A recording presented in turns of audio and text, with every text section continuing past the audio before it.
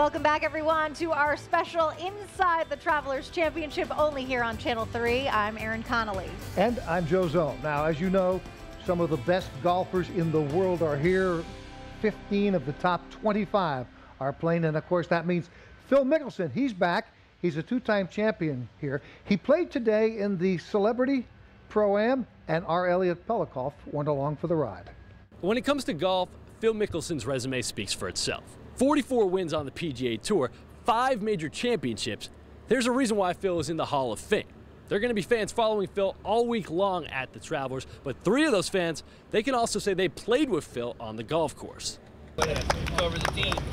Hitting the links with lefty. That's something the average golfer doesn't experience too often, or ever.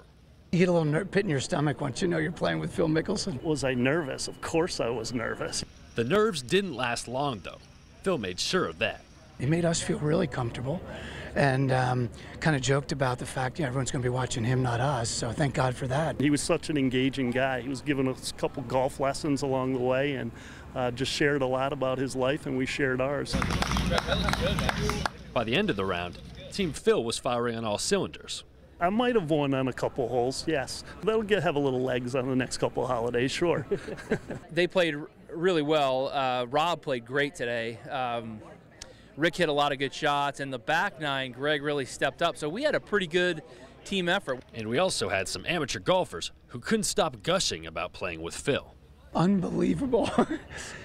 He's one of the nicest guys you'd ever meet. Played a lot better than us, as you would expect, but uh, just awesome, awesome day. He's just an incredible human being. I mean, we're in his office space, and so he's studying the greens, studying the fairways, but at the same time engaging with us. So uh, everyone says he's a great guy, so it's really true. He is a great guy.